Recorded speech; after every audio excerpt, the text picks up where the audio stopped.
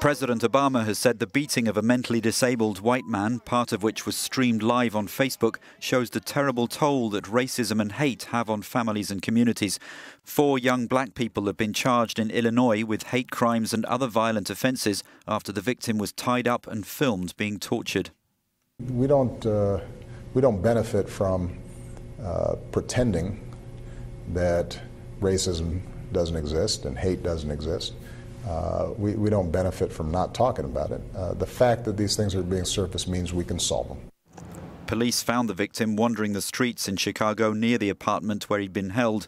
They believe he knew at least one of his alleged torturers. He was later released from hospital.